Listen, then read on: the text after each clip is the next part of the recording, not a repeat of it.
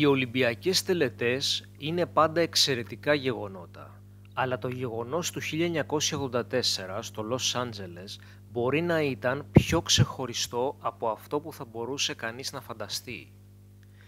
Οι συνωμοσιογράφοι πιστεύουν ότι η τελετή δεν ήταν μόνο μια γιορτή στο πνεύμα των Ολυμπιακών Αγώνων, αλλά ότι ήταν μέρος μιας προετοιμασίας της ανθρωπότητας για μια μελλοντική επαφή με εξωγήινα όντα.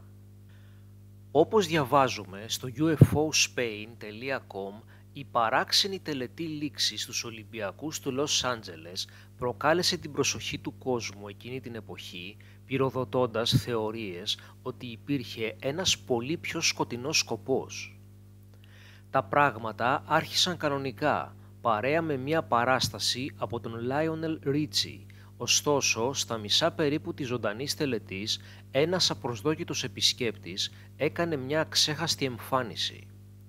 Τα πράγματα δεν μπορούσαν να είναι πιο σουρεαλιστικά, καθώς ένα ξένο πλάσμα εμφανίστηκε από το πουθενά, ντυμένο με ένα λευκό κουστούμι και έξι επιμήκη δάχτυλα σε κάθε χέρι.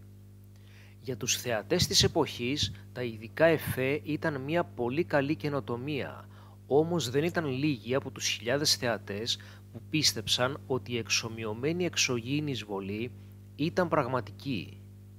Οι συνωμοσιογράφοι εξακολουθούν ακόμα και στις μέρες μας, τόσα χρόνια μετά, ότι η εισβολή στην τελετή λήξης ήταν ένας προγνωστικός προγραμματισμός προκειμένου να προλιάνει το έδαφος για την ημέρα που οι εξωγήινοι θα εμφανίζονταν στην πραγματικότητα είτε στημένα από τη νέα τάξη και τους Ιλουμινάτη. Μάλιστα, ένας από τους θεωρητικούς συνωμοσίας, ο Bill Cooper, πρότεινε ότι το άτια που διέκοψε την τελετή λήξης θα μπορούσε να ήταν όντως πραγματικό.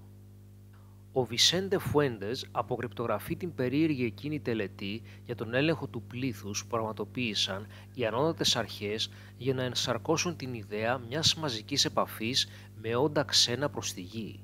Ποια είναι η γνώμη σας για όλα αυτά;